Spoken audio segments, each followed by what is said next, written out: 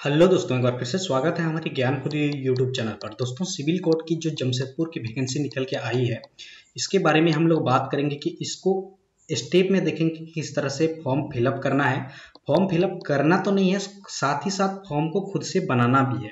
तो बहुत थोड़ा ये डिफ़िकल्ट हो जाता है क्योंकि ये कोर्ट की जो रिक्वायरमेंट है, ये सब में अगर फॉर्म आप लोग भरते हैं, कहीं भी थोड़ा भी बाई मिस्टेक थोड़ा भी ओवर रेटिंग भी हो जाता है, तब भी रिजेक्ट हो जाता है फॉर्म तो ये सावधानी इसीलिए बरतनी है कि अच्छी तरह से फॉर्म को भरना है और फॉर्म खुद से बनाना भी है।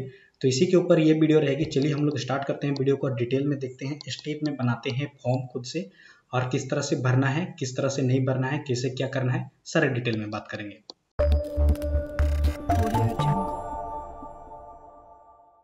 सबसे पहले मैं उसका एडवर्टाइजमेंट को डाउनलोड करके रखा हूँ, क्योंकि हम लोग जो भी करेंगे, उसका एडवर्टाइजमेंट में जो रूल रेगुलेशन दिया गया है उसी को आधार मानते हुए बनाएँगे। तो सबसे पहले तो यहाँ पे जो भी वैकेंसी वगैरह दिया गया है ये सब डिटेल हम लोग पहले ही देख चुके हैं वीडियो में बना चुका हूँ।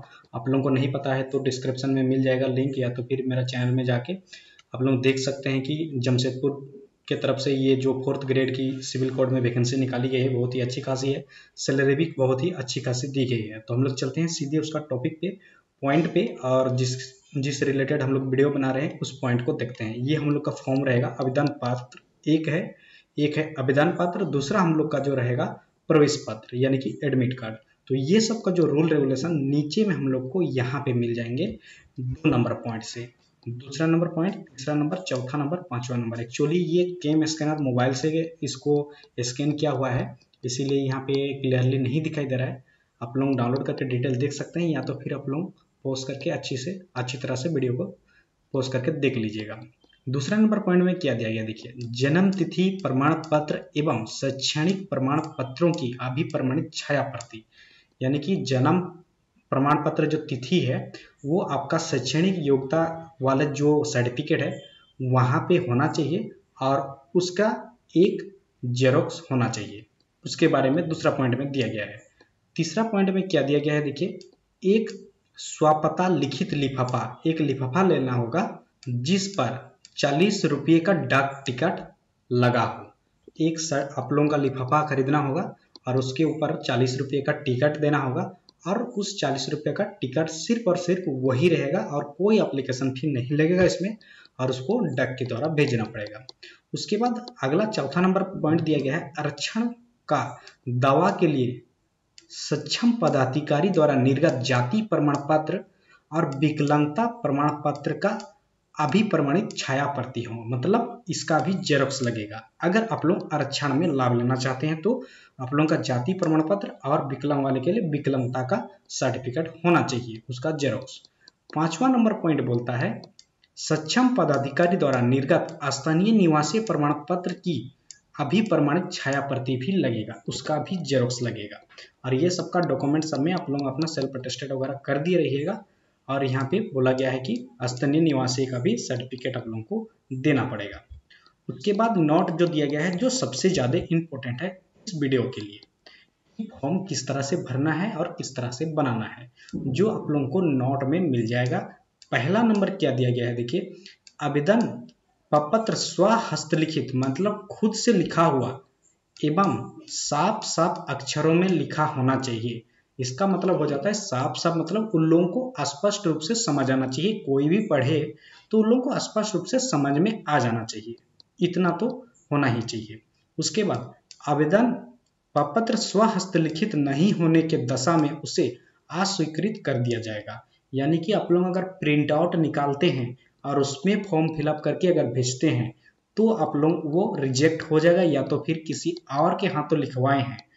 क्योंकि हो सकता है आप लोगों का इंटरव्यू के टाइम में आप लोगों को लिखने बोला दिया जाए।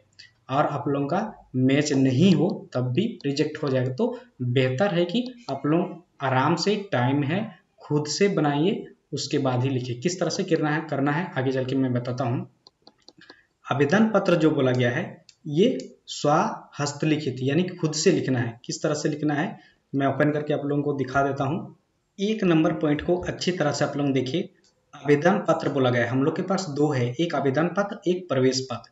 लेकिन एक नंबर में सिर्फ़ बोला गया है आवेदन पत्र को स्वहस्त सिर्फ़ और सिर्फ़ आवेदन पत्र को स्वहस्त लिखित होना चाहिए। ये चीज़ बोला गया है। तो इसके लिए आप लोगों को किस तरह से लिखना है मैं दिखा दे रहा हूँ। देखिए, ये देखिए। ये जो आवेदन पत्र दिया गया है, ये खुद से लिखना पड़ेगा। ये कहाँ से मैं लिखा हूँ? ये भी मैं आप लोगों को दिखा दे रहा हूँ। देखिए, इसको मैं ऊपर ले चलता हूँ। तो यहाँ पे जो बना हुआ है, उस चीज़ को सेम टू सेम लिखना है, ये। यहाँ पे, मैं वीडियो में भी आप लोगों को बताया था, आवेदन पत्र। ये खुद से लिखना है इनमें ये तो इन्फॉर्मेशन दिया है, इसको छोड़ दीजिए। ये यहाँ से लेके पूरा नीचे तक, जहाँ तक आप लोगों का आवेदन पत्र दिया गया है, यहाँ तक। यहाँ तक आप लोगों को पूरा खुद से पेन में लिखना पड़ेगा। सारे के सारे, ये दो नंबर, तीन नंबर पॉइंट जितने दिए गए हैं, सारे के सारे लिखने पड़ेंगे जैसे मैंने यहाँ पे लिखा है। देखिए, यहाँ पे आवेदन पत्र हेडिंग में दे दिया है। एक नंबर में अच्छे से लिखना पड़ेगा। मैं यहाँ पे एग्ज़ाम्पल के तौर पे लिया हूँ। देखिए, आवेदक का नाम का खा गा लिखा हूँ, जो हिंदी में पहला है, दूसरा अंग्रेज़ी में है तो ए बी सी डी में लिखा हुआ है। पिता पति का नाम यहाँ पे लिख दीजिएगा। जन्म तिथि में एवरेज कुछ भी दे दिया हूँ यहाँ पे।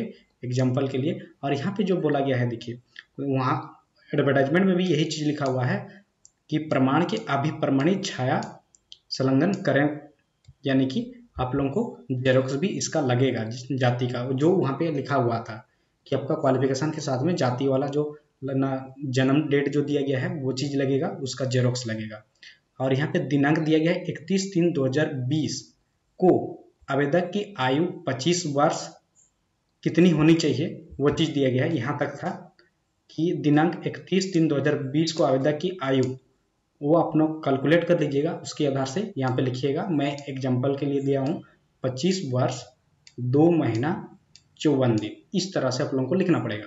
उसके बाद अस्थाई पता आपका क्या है, मैं ऐसा कुछ भी दे दिया हूँ जमशेदपुर का एड्रेस उसके बाद अगला आएगा हम लोगों का पत्रचार का पता। ये जो एड्रेस लगेगा, ये आपका घर का लगेगा। अगर आप कहीं बाहर रहते हैं तो जहाँ पे आप अपना एडमिट कार्ड मंगाना चाहते हैं, वहाँ का एड्रेस लगेगा। मैं यहाँ के लिए सिर्फ़ सेम लिख दिया हूँ, लेकिन इस तरह से आप लोग मत लिखिएगा। सेम नहीं लिखिएगा। अगर सेम भी है तो इस चीज़ को फिर से यहाँ पे रिपीट कर दीजिएगा। उसके बाद सातवां नंबर पॉइंट में हम लोग का क्या लिखा हुआ है? अनुसूचित जाति जनजाति पिछड़ा वर्ग के सदस्य हैं, यदि हों तो जाति प्रमाण पत्र आपको साथ में अटैच करके देना होगा। स्थानीय निवासी प्रमाण पत्र भी देना होगा। ये अगर है तो तो ये चीज़ पहले भी वहाँ पे नोटिस में लिखा हुआ है और यहाँ भी लिखा हुआ है तो ये सब भी आप लोगों के लगेंगे और ये सब खुद से ही इसी तरह से लिखना पड़ेगा जैसे मैं यहाँ पे दिया हूँ। उसके बाद आठवां नंबर पॉइंट में जो दिया गया शैक्षणिक योग्यता शैक्षणिक योग्यता आपका लिखा हुआ रहेगा इतना दूर तक। यहाँ पे आपका जो भी क्वालिफिकेशन है, वो चीज़ यहाँ पे मेंशन कर दीजिएगा और साथ ही साथ उसका जेरोक्स भी लगेगा। नौवा नंबर में जो दिया गया है, घोषणा, ये घोषणा जो लिखा हुआ है, ये चीज़ भी खुद से ही लिखना पड़ेगा। मैं प्रमाण करता हूँ, लड़की का यहाँ पे करती हूँ है, मैं दिखा देता हूँ आप लोगों को वो चीज़। ये देखिए, मैं घोषणा करता करती लिखा हुआ है, समझ समझता, समझती हूँ, इस तरह से लिखा हुआ है। तो ये सब सेम टू सेम आप लोगों को लिखना पड़ेगा। लड़का है तो लड़का के आधार से, लड़की है तो लड़की के आधार से लिखना पड़ेगा। फिर ये स्थान भी लिखना पड़ेगा, ये डेट भी दे दीजिएगा और यहाँ पे खुद का सिग्नेचर लगेगा। जैसे मैंने यहाँ पे दिया हुआ है, देखिए। जगह थोड़ा कम हुआ, इसीलिए मैं इस तरह से दिया हूँ। एड्रेस ये स्थान दिया है और ये डेट और यहाँ पे सिग्नेचर खुद का दे दीजिएगा। ये फॉर्म हम लोग का कंप्लीट हो जाता है। जैसे यहाँ पे नोटिस में दिया गया है कि हम लोग का क्या बोला गया था? आवेदन पत्र को लिखने के लिए। आवेदन पत्र हम लोग का कंप्लीट हो गया। लेकिन यहाँ पे हम लोग आगे देखते हैं कि प्रवेश पत्र के लिए क्या बोला जाता है। तीसरा नंबर में दिया गया है। ये दूसरा नंबर हम लोग का अभिवर्ती एक पद के लिए एक ही आवेदन दे सकते हैं। अभिवर्ती एक पद के लिए एक ही आवेदन आप लोग भेज सकते हैं। अलग अलग अगर भेजना चाहते हैं तो अलग अलग से आप लोगों का लिफाफा यानी कि आवेदन पत्र भेजना होगा। एक लिफाफे में केवल एक ही आवेदन पत्र स्वीकृत किए जाएँगे। एक लिफाफे के अंदर आप लोग तीन अगर वैकेंसी में अप्लाई कर रहे हैं तो तीन के तीनों एक ही में अटैच करके नहीं भेज सकते हैं। तीन के अलग अलग आप लोगों को बनाने होंगे। उसके बाद लिफाफे के अंदर आवेदन पत्र का नाम लाल स्याही में आवश्यक होना चाहिए, लिखा हुआ होना चाहिए। जो आवेदित पद का नाम है, वो आपका लाल स्याही में ही लिखा हुआ होना चाहिए। और इसको आप निलंबित डक या हाथों हाथ से भी दे सकते हैं। इसके लिए आप लोगों को ये जो फॉर्मेट रहेगा, इसको बनाने के लिए ए फोर साइज़ पेपर लेना होगा और डेट जो दिया गया है तीस नवंबर 2019 से पहले हाँ एक तो हाथों हाथ या स्पीड को निलंबित डग के द्वारा जिससे भी आप भेज रहे हैं तो इस डेट के अंदर पहुँच जाना चाहिए। लेकिन ये सातवां नंबर पॉइंट में हम लोग का लास्ट में दिया गया है लास्ट सातवां नंबर कंप्लीट हो जाने के बाद कहीं पे ऐसा पॉइंट नहीं दिया गया है कि ये जो प्रवेश पत्र है, इसको किस तरह से बनाना है? क्योंकि हम लोग का पॉइंट्स के आधार से अगर देखते हैं तो आवेदन पत्र जो दिया गया है, आवेदन पत्र को यहाँ तक है हम लोग का, इससे ऊपर इस चीज़ को हम लोग का खुद से पेन से लिखना है। लेकिन प्रवेश पत्र को किसमें लिखना है या टाइपिंग करना है, या तो फिर इसी को प्रिंट आउट निकाल के भर के इसको भेजना है, ये चीज़ नहीं दिया गया है यहाँ पे पॉइंट तो लेकिन इससे पहले वाला जो रिक्वायरमेंट निकल के आई थी सेम इसी तरह से वैकेंसी लगभग कुछ महीना पहले रांची में, रांची डिस्ट्रिक्ट की तरफ़ से, तब उसमें ये चीज़ दिया हुआ था कि इसको तो जो, जैसे मैंने बताया, प्रवेश, ये आवेदन वाला पत्र ऊपर वाला, वो सेम के सेम ही था, लेकिन नीचे वाला में आप लोगों को यहाँ पे कोई लिखना नहीं था। इस चीज़ को टाइप करना था खुद से कहीं पे भी टाइप आप खुद से करें या तो फिर किसी से करवाएँ जाके कैफ़े में और ये यहाँ से लेके प्रवेश पत्र जो है, इस प्रवेश पत्र को खुद से टाइपिंग करके सेम टू सेम उसके बाद उसका प्रिंट आउट निकाल के इसमें भरना था। ये सब जैसे कि वैसे टाइप करना था और भरना था। एक तरह से बोला जाए तो इसका प्रिंट आउट ही होगा, लेकिन प्रिंट आउट नहीं चाहिए। उन लोगों को पता चल जाएगा तो फिर रिजेक्ट हो जाएगा। वो टाइप रहना चाहिए। टाइप करके इस चीज़ को भर के प्रवेश पत्र भेजा गया था, वो रांची का था। लेकिन यहाँ का इसका दिया नहीं हुआ है तो मैं अपने मर्ज़ी से तो ऐसा कुछ नहीं बोल सकता हूँ।